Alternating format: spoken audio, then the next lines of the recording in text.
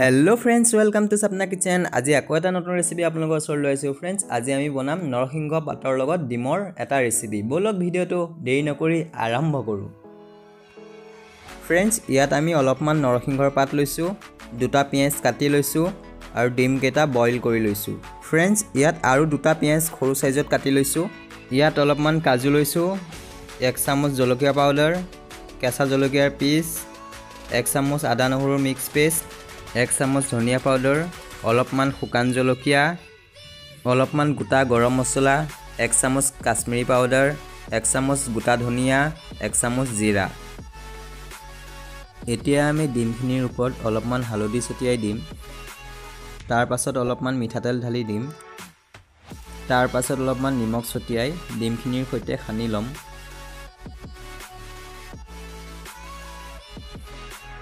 এতিয়া আমি এটা কেৰাহীত অলপমান মিঠাতেল ঢালি তেলখিনি গৰম কৰি লৈ তাত আমি ডিমকেইটা ফ্ৰাই কৰি ল'ম।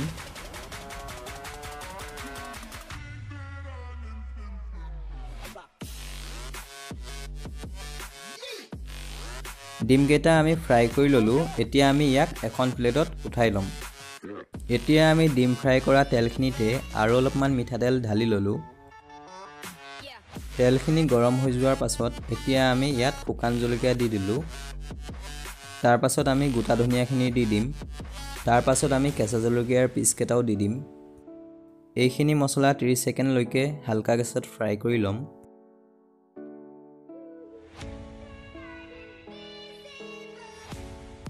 ত্ৰিছ ছেকেণ্ডৰ পাছত আমি কাটি থোৱা ডাঙৰ চাইজৰ পিঁয়াজখিনি ইয়াত ঢালি দিম। পিঁয়াজখিনি দিয়াৰ পাছত আমি এক মিনিটলৈকে ইয়াক হালকা গেছত ফ্ৰাই কৰি ল'ম। এক মিনিটৰ পাছত আমি কাজুখিনিও দি দিম। কাজুখিনি দিয়াৰ পাছত এতিয়া আমি নৰসিংহৰ পাতখিনিও ইয়াত দি দিম।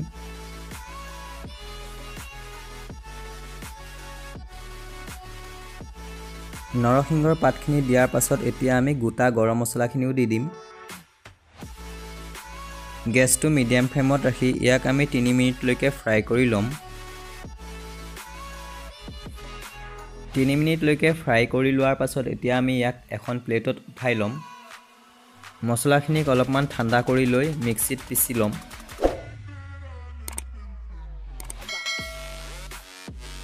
এতিয়া আমি এটা ফ্ৰাই পেনত অলপমান মিঠাতেল ঢালি তেলখিনি গৰম কৰি লৈছোঁ।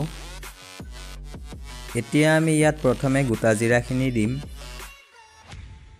তাৰ পাছত আমি কাটি থোৱা সৰু চাইজৰ পিঁয়াজখিনিও দি দিম।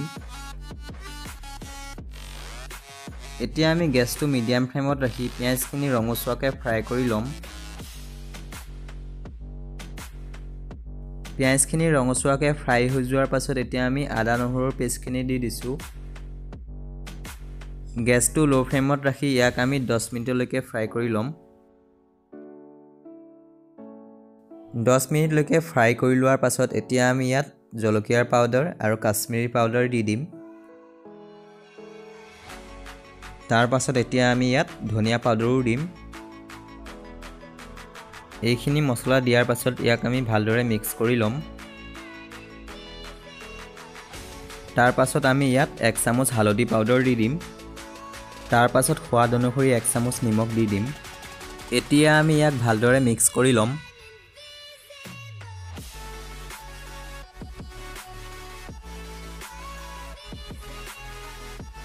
মছলাখিনি মিক্স কৰি লোৱাৰ পাছত এতিয়া আমি আধা গিলাচ ইয়াত পানী দি দিম। গেছটো মিডিয়াম ফ্লেমত ৰাখি ইয়াক আমি পাঁচ মিনিটলৈকে ফ্ৰাই কৰি ল'ম।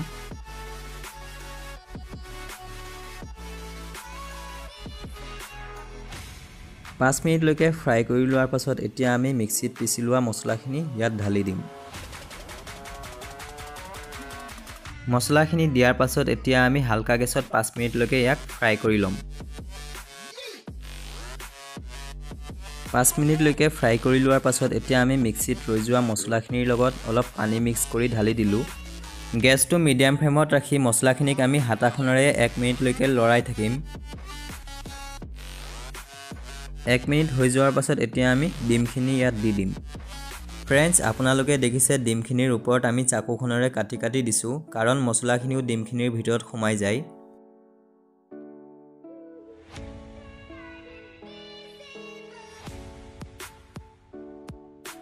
এতিয়া আমি গেছটো মিডিয়াম ফ্লেমত ৰাখি ইয়াক আমি দহ মিনিটলৈকে ঢাকি ৰাখিম। দহ মিনিট হৈ যোৱাৰ পাছত এতিয়া আমি ইয়াৰ ওপৰত অলপমান নৰসিংহৰ পাত ছটিয়াই দিম। ফ্ৰেণ্ডছ আজিৰ এই ৰেচিপিটো আপোনালোকক কেনেকৈ লাগিল কমেণ্ট কৰি জনাব। ভাল লাগিল যদি লাইক ছাবস্ক্ৰাইব আৰু বন্ধু বান্ধৱীসকললৈ শ্বেয়াৰ কৰি দিব। ফ্ৰেণ্ডছ আজিলৈ ইমানতে সামৰণি মাৰোঁ। আকৌ লগ পাম নতুন এটা ৰেচিপি লৈ। তেতিয়ালৈকে বাই বাই